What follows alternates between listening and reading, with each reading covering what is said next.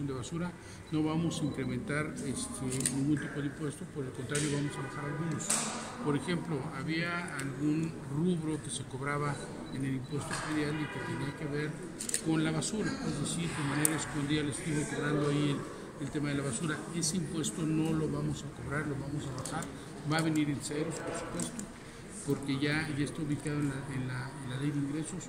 No, no solamente no vamos a subir impuestos, sino vamos a ir haciendo análisis graduales de en dónde eventualmente podemos bajarlos. Por ejemplo, el asunto del alcoholímetro, si no más recuerdo, costaba alrededor de 9 mil pesos en la administración pasada.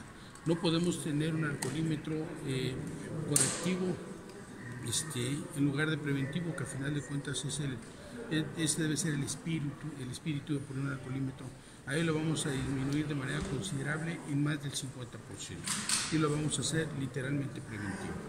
Todo va a ser completamente anunciado, no va a haber sorpresas y en el mismo corralón, bueno, pues hay una instrucción muy clara de que necesitamos ahí un pizarrón para que se anuncie cuánto es lo que se cobra en determinadas distancias, no vamos a permitir excesos, no vamos a hacer que eh, la, la, sociedad siga pagando un solo centavo más, no vamos a implementar un solo centavo ningún tipo de impuesto.